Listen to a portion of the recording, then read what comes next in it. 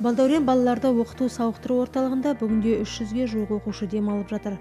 Орталық басшыларының айтуынша бұл ауысымда негізінен абай оқуларының жеңімпаздары. Болашақ ақындар журналистикаға бейімі бар балалар демалуда. Сонымен қатар қостанай облысына қарасты әулиекөл ауданынан он бір бүлдіршін келіп сауығуда.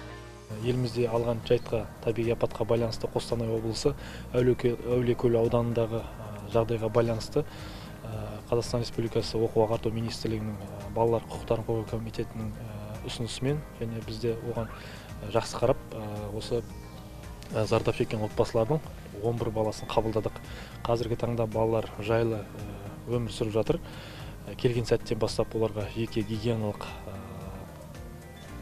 заттарын беріп жайлы бөлмелерге орналастырып жақсы деген қазіргі таңда жақсы дем алып мынау оқуларын тоқтатпас үшін бізде арнайы мектебіміз бар.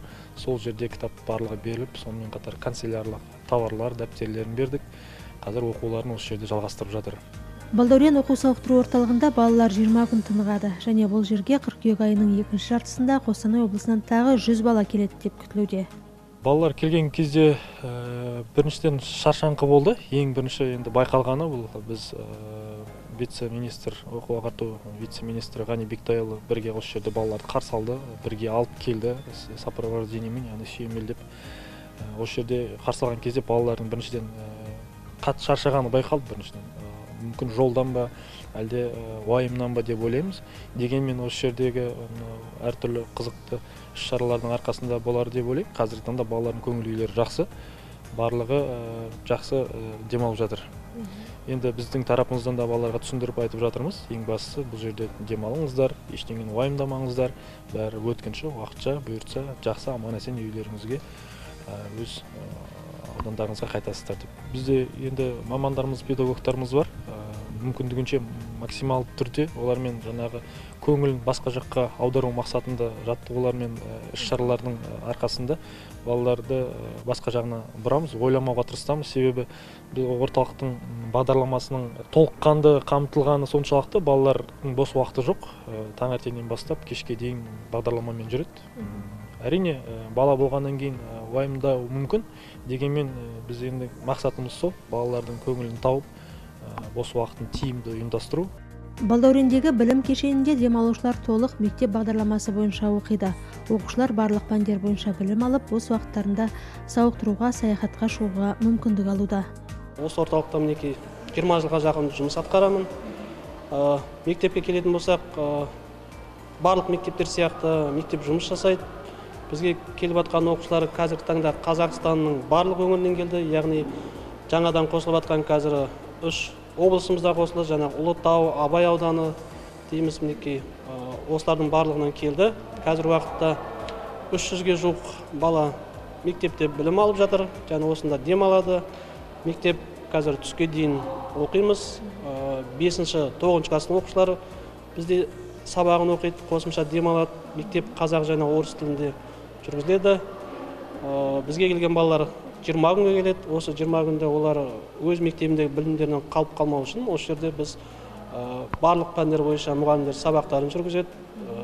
Қосымша оқимын деген балалар болса қосымша жаңағы мектепте жоғалтып алған олқылықтар болса оны да толықтыруға жұмыс жасайды. Ал түстен кейінгі уақыт көбінесе балалар жаңағы сауықтыру іс шаралары. Ол дегеніміз жаңағы бурабайға барып демалып қайту қосымша жаңағы үйірмелерге қатысу өздерінің таңдауы бойынша жүргізіліп отырады. Сабақтан кейінгі уақытта балалар түрлі ойын байқау сайыстарға және өз таңдаулары бойынша үйірмелерге қатысады. Олармен тәрбиешілер ұйымдастырушы ұстаздар жұмыс істейді. Осы орталықта 2019 жылдан бері ұйымдастырушы ұстаз болып жұмыс істеймін. Балалар сабақтан кейінгі уақытта бізде бірінші болып ол түскі демалыс. Түскі демалыстан кейін балалар екі топқа бөлінеді біздің орталықта ол жоғары топтар және кіші топтар. Кіші топтарда бірінші бізде қызығушылық үйірмелер. Біраз қызығушылық үйірмелер бізге он шақты сол он шақты қызығушылық үйірмелерге балалар өзінің ұнаған үйірмесіне жазылып сол бойынша өзінің білімдерін жетілдіреді. Ал бұл уақытта жоғары топтарда бізде спорттық сауықтыру тандық маршруттары болады. Бұл маршруттарда біздің жоғары топтағы балалар жаңағы бассейнге далаға серуендеуге немесе спорттық ойындарға психологиялық тренингтерге барып отырады. Ал келесі бір сағаттан кейін уже бестен кезінде екі топ орналасады. Үлкен топтар өздеріне арналған жоғарғы топтарға арналған қызығушылық үйірмелеріне баратын болса кіші топтар керісінше спорттық сауықтыру танымдық маршруттарына болады.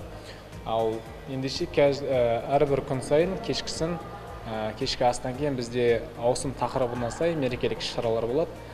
Жоғары топтарда кіші топтарда барлығы бірге сол тематикаға байланысты мерекелік іс шараларға немесе балалардың спорт спорттарын дамыту үшін немесе білімдерін арттыру мақсатындағы тематикалық мерекелік іс шараларға барып тұрады.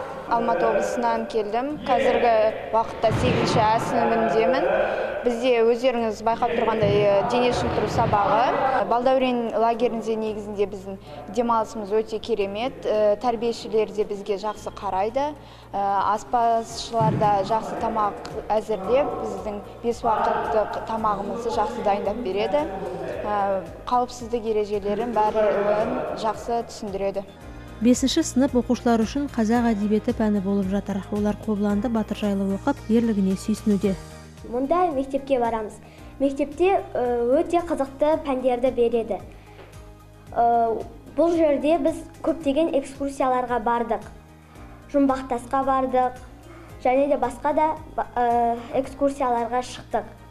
Табиғатқа шығамыз бассейнге барамыз. Біз бесі күні келдік.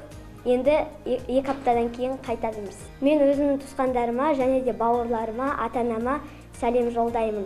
Мен жамбыл облысынан келдім. Менің жасым онда. Мен қазір бесінші а сыныбында оқимын.